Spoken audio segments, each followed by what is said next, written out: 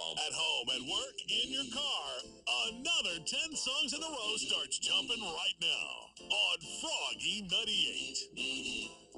Froggy